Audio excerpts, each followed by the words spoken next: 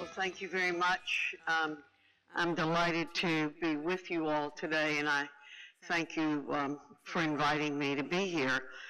Um, you're innovators, entrepreneurs, manufacturers, technology leaders. You are the driving force uh, behind our thriving economy, and I want to thank you uh, for what you do daily. As you know, and, and every American should know, we have always led the world in innovation and technology. It's a kind of ingenuity that you all possess that has helped create the most prosperous nation in the history of the world. And it's the most exciting time in the world to be alive, I think. You're tackling the challenges of the future, and I think Mr. Koenig was talking about that a little bit as I came in. Uh, creating jobs that have never existed before, developing new technologies that are changing, that's changing people's lives, and transforming the global economy. Simply put, America's success depends on your success. But in many ways, right now, we're at a crossroads as a nation. In order to maintain America's role as the global leader in economic growth and innovation, we need to advance policies that empower workers and entrepreneurs to succeed in the 21st century workforce. And I got the sense that's what you were talking about. With a new Congress and a new administration, we have an opportunity to do just that. From a persistent skills gap to regulatory obstacles facing both workers and employers, there are no shortage of issues we need to address urgently. As chair of the House Committee on Education and the Workforce, I'm going to spend a few minutes discussing the work we're doing here in Washington to confront these challenges with bold, positive solutions. Let me talk a little bit about the skills gap. Education leaders and employers, as well as student and worker advocates, all agree the country's skill mismatch or skills gap is a real problem.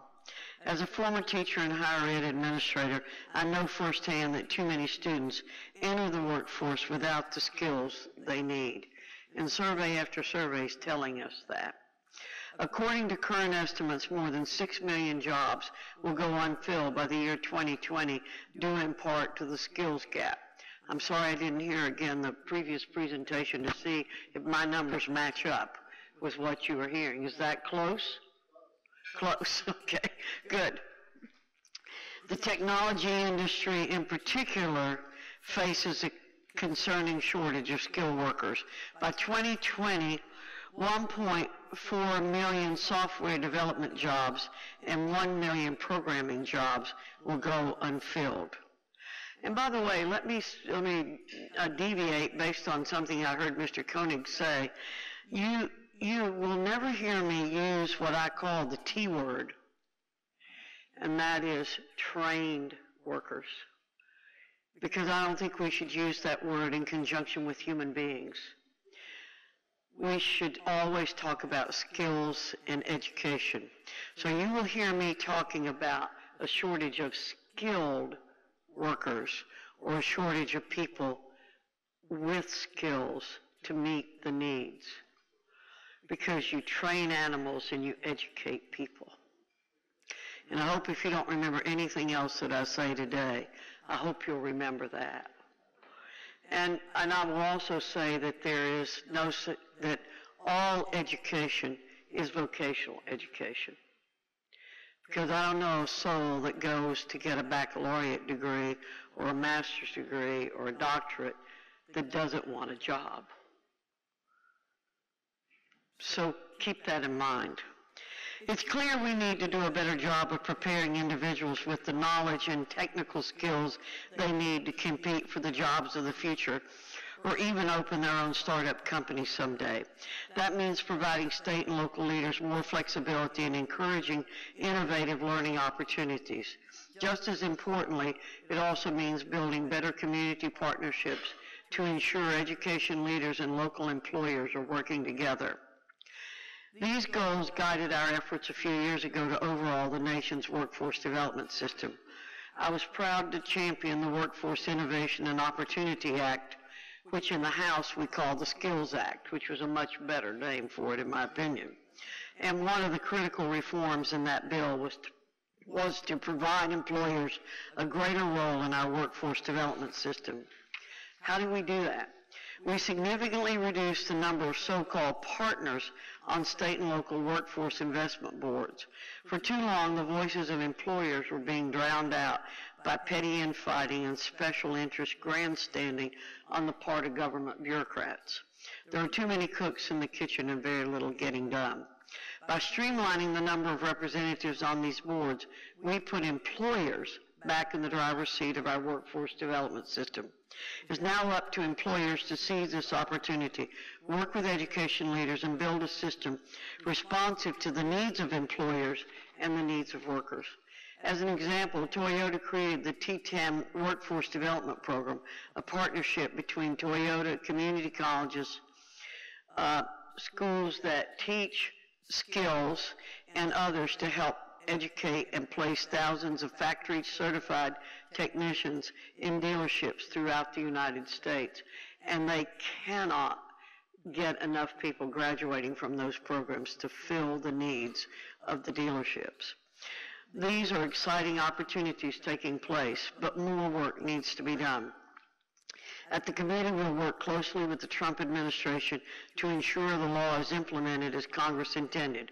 We'll also build on these reforms as we work to strengthen career and technical education. Career and Technical Education, or CTE, has helped countless men and women acquire the knowledge and skills they need to prepare for a wide range of high-wage careers, from computer science and information technology to manufacturing and engineering. Yet there's still a false perception that CTE is somehow the other option or backup plan for students who do not pursue a baccalaureate degree. Nothing could be further from the truth. If we're going to close the skills gap, we're going to have to change the way we think about CTE. We're also going to have to change our CTE policies. The federal law that supports state and local CTE programs hasn't been updated in more than a decade. Between technological advances and a changing economy, students, workers, and employers face different realities than they did 10 years ago. We need a law that reflects those realities, and that's precisely what the committee is working on today. In the coming weeks, it's our intention to move forward with CTE reforms based on a number of core principles. First, we need to empower state and local leaders to respond to changing education, economic, and technological needs. This includes simplifying the application process for receiving taxpayer dollars and providing local leaders more flexibility to make their programs work for their students. Second, we need to support innovative learning opportunities and build better community partnerships. Again, this must include stronger engagement with local employers. In other words, we need to make sure employers and education leaders are working together to provide students the skills they need to fill in-demand jobs in their communities. Third, we need to improve accountability to ensure CTE programs are delivering real results and hardworking taxpayer dollars are being well spent. Finally, we need to reduce the federal career, role in career and technical education and limit the federal government's ability to intervene in state and local decisions. We won't solve our nation's skills gap with a one-size-fits-all uniform solution. We need to ensure states have room to innovate and tailor programs to meet the unique needs of local industries. Last year, the House passed with overwhelming bipartisan support a bill that reflects these principles. It's my hope we will complete this important work in the months ahead. It's an important step toward empowering the next generation of innovators, entrepreneurs, and technology leaders. How, however, share, helping more Americans succeed in the 21st century workforce requires a multifaceted approach. Not only must we prepare students with the skills they need to enter the workforce, we also have to ensure federal rules and regulations don't make it harder for workers to succeed in their careers. The American workforce has rapidly evolved over the years, Groundbreaking innovation and technology have transformed our economy and changed the way we live, work, and connect with others. These changes have led to the sharing economy. Freedom, innovation, flexibility, convenience. Those are a few of the things we think of when we think about the sharing economy. It's an economy driven by millennials who now represent the majority of the U.S. workforce. They're drawn to the idea of financial independence and flexible work arrangements. But it's not just millennials participating in the sharing economy.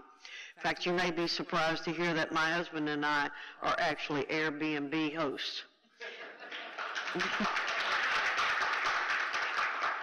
There's no, no question that this new economy has improved the quality of life for many Americans, whether it's by providing affordable places to stay, expanding transportation options, or creating new job opportunities. These online services have become a part of our daily lives and for the better. The fact that we've seen this type of growth and innovation during these challenging economic times is a remarkable thing. It's a testament to the strength of our economy and the resilience of the American people. It's important that federal policies do not limit the innovation that is taking place or undermine the flexible work opportunities so many Americans now depend on. That's why we need to take a close look at federal workforce policies. Today, workers, employers, and entrepreneurs are living under policies of the 1930s. Think about that. Those policies were put in place nearly a century ago. When the Fair Labor Standards Act was signed into law, we were in the Great Depression. We didn't have the competitive global economy we have today. We didn't have smartphones. We didn't have the internet. So much has changed. Why haven't our nation's workforce rules and regulations? This outdated regulatory structure is complicated enough for most American workers and employers, but for those in the sharing economy, simply doesn't make sense. It's like, it's like trying to fit a square peg into a round hole. The self-employed individuals who rely on the sharing economy for work don't fit neatly into obsolete job categories defined in another area, and most aren't looking for rigid nine to five work schedules. They want the freedom and flexibility to control their own time and schedules without federal rules standing in their way. The bottom line is our nation's workforce policies don't reflect the realities of the 21st century workforce. We all want workers to have strong protections, and we can all agree that workers need retirement security and access to high quality, affordable health care. The sharing economy has created opportunities and challenges in how to address these important priorities. It sparked an important debate on how we can modernize the policies of the past to meet the needs of the future. I encourage you all to be engaged in that debate. The people in this room have more ideas than those in Washington on how we can support the creativity of entrepreneurs and encourage an environment where opportunity, economic growth, and job creation can flourish. Just as importantly, become involved in our efforts to close the Skills Act. Learn who has a seat on your state and local workforce investment boards. As leaders in the technology industry, I encourage you to reach out and build partnerships with your local schools and community colleges. Finally, continue to make your voices heard here in Washington. We want your ideas, your concerns, and your insights to help inform and shape the work ahead. Never underestimate the power you have to make a difference. I have to say, I never dreamed I'd chair a committee in Congress one day or that I'd ever serve in Congress for that matter. I grew up in a very poor community and overcame some tough challenges. There's no doubt many of the people in this room have overcome their own set of challenges through hard work and determination, and you've achieved incredible success. I hope we can all work together to help more Americans pursue their dreams and achieve them. We face a historic opportunity. We need to roll up our sleeves and seize it. It's an honor and a privilege to work alongside of you as we do just that. Thank you very much again for allowing me to be with you. Take a seat. We'll do Okay. a brief question and answer period here about some of your work and some of your uh, ideas for ways that we can modernize both labor and education policy. Um, I want to start with the Airbnb side of things because I think that that piqued everyone's interest, right? You got uh, quite a bit of applause for that. Uh, what I want to know is I don't fit the stereotype, right? I, I think that's the important thing is that there isn't a stereotype, right? Uh, These platforms are accessible for anyone that has an internet connection. Sure. Uh, and what we're curious about is how you and your husband came to think of using a sharing economy platform, right? You have an idle resource, but what made you take that leap to say we're going to be Airbnb hosts? Well, I had to call my husband last night for him to remind me of how that happened. Um, uh, my husband, um, my husband has a baccalaureate degree in political science. Spent a year working on a master's, thinking he might become a teacher after he decided not to become a lawyer. So we've been entrepreneurs all our lives. He became a community planner, then quit his job because he had to work away from home and wanted to be at home. We went in the nursery and landscaping business. So we we had a startup business and, and we've been in and we went into construction. And about I was trying to think when it was probably about eight years ago. I finally got Tom to get on a computer, and I knew when I did that it was probably going to be a mistake. Uh, uh, he's a very, very sharp guy. And he spent a lot of time, first couple of years, doing genealogy research and even thinking about writing a book. But he uses the computer a lot. Uh, but he also loves to do construction and, uh, and remodeling. And we live in just the most beautiful place in the world between Boone and Banner Elk, North Carolina. I don't know if any of you have ever been there, but it's a, it's a fabulous place. And we've struggled all our lives to live in the community where he grew up, which is only about 12 miles from where I grew up. And we both grew up extraordinarily poor, by the way. Anyway, um, he, we have built, he's been in the construction business three or four times, and we were, we bought some land, built our own house two years ago, and he did the supervising and all of that. And there was a little piece of property on the way into ours with an old, old house, almost 100 years old cabin in it. And uh, I told him he should burn it down or let the fire department burn it down because it was in pretty bad shape. But he decided to remodel it, and he did. It's a little one bedroom. Um, I think it's probably about 900 square feet. And so then we were faced with what to do. We own a duplex that we rent, and uh, he was really tired of renting property, and he was trying to think of what to do. And he was exploring different options, and a friend of ours told him that their kids had used Airbnb. And so Tom got on the internet and uh, started exploring different options. And he decided, in, rather than rent on a permanent basis, that it would be better to go through Airbnb. So our daughter, who runs our nursery and landscaping business, we actually turned it over to her years ago. Um, she manages it. And she now, I've forgotten, I should have called her and asked her what classification she has, but we've, it's been on the market since last fall. I think it's rented 17 times. Wow. Um, and every time she has gotten outstanding ratings. And so she's in some special category That's wonderful. because every rating has been so positive. And I'm sure they don't know that you're the chairwoman when they're Oh, getting no, the no, they have no idea. They have no idea. Uh, but it's been a, it's been a great experience. And uh, my chief of staff has used Airbnb a lot.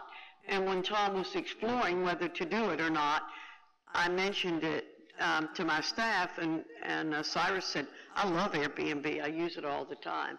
And so that's how we chose Airbnb.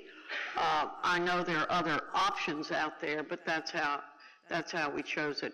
And it is an, it's a, a lovely little cabin on the Watauga River, and uh, it's, it's a great location. Well, I might be your next guest. Okay. So how Sign up quick. How, how has that experience as an Airbnb host framed your work on the committee then? You, you're also a participant in the sharing economy now. Right. And of course, we use Uber all the time in DC in particular and other places uh, and, and other parts of the sharing economy. While I don't personally use a lot of these things, I'm very much aware of it and I'm a big promoter of using every form of technology that's available to us. I'll tell you, when I was in the North Carolina legislature, I, uh, we first got computers, and I loved them, absolutely loved them. And uh, even before that, I was in the administration, and when I was in the legislature, they came to me and said, "Would you serve on a committee, uh, a technology co- committee?" And I turned around, I said, "You've got to be kidding! You got to have people who know more about technology than I do." And out of 50 senators, they said there were only five senators in those days that read and answered their own emails. And so we've come a long way. So I'm a huge promoter, again, of innovation and technology. And so I want to make it all possible. I just believe it will make our country better. I know that there are downsides to it, but there are downsides to everything. Uh, we need, we obviously want secure technology, as secure as it can be. But I'll tell you, my brother used to work for the telephone company, and he told me 40 years ago, Virginia, just assume that every conversation you're having on the telephone is being listened to by somebody else. 40 years ago, he told me that. So I've always assumed that. So we only have a few more minutes, and I want to pivot to the other side of the committee, which is the education side. And I know that's where you have very deep personal experience, both you know, as an educator and as a college president. Uh, in that experience, when you were actually working in the education space, did you feel like our education system was adequately preparing workers for the jobs of tomorrow? Um, not in recent years. I don't think our education system has done that. Now, there are segments of the education system that do that. This, there, I left the university, so I, I had a great experience at Appalachian State University. I don't have any negative comments to make, but I left Appalachian to go to the community college because I believed so fervently that the community colleges were able to pivot much more quickly to meet the needs of the community and to meet the needs of the area. We must have some community college people here. Uh, and they are. And the for-profit sector sometimes, and the private sector is sometimes even as able to do that. And so I get frustrated sometimes with the university systems for not responding more um, directly to what needs to be developed. And I saw something this week, uh, and I'll go back to what I mentioned earlier about the T word. I, mentioned, I, I saw something that said uh, uh, colleges and universities are in trouble and they've got to do more with T programs. I don't even like to say the word. And I thought to myself, I'm a liberal arts graduate. I have an undergraduate degree in English, straight out English. I wanted to be a high school English teacher, but I was too poor to quit work and do student teaching. So I wound up with a degree in English. Then I went back and got a Master of Arts in college teaching. So I could teach at the college level. Uh, but I'm not opposed to liberal arts education. I'm a huge supporter of liberal arts education. We want everybody, though, to come out of an educational program with critical thinking skills, good communication skills, good computational skills. Everybody needs those, not just people who are going to go on, get a master's, go on and get a doctorate. We need a few of those people in the world too, but mostly we need people with all kinds of skills. And I know my skills in using a computer, using an iPhone, all those things, they're sort of limited because I don't have time to work on them. But I understand their capabilities.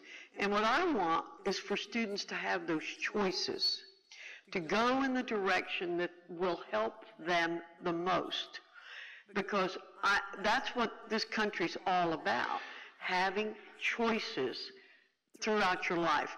And y'all, 30 years ago, people were saying, folks are going to change careers seven times in their lives. I don't know what you all are saying about it now, but we felt that way a long time ago. And so we have to prepare people again with those basic skills. And basic skills are still reading, writing, computation, critical thinking. Those are basic skills. But in addition, you have to know how to use a computer, you have to know how to search, and you have to know how to adapt to new things. And I think that's, that's one of the things that we have to, that we have to teach people, but, and help them be comfortable with. I'm not too crazy about these, uh, comfort rooms or whatever they call them on campuses. You know, there are going to be challenges in life, and you're going to have to learn to deal with them. That's one of the skill sets you need. Well, Chairwoman, we're looking forward to working with you on those challenges. Unfortunately, we're out of time here, though. Very much appreciate you joining us today. Thank you. Thank you.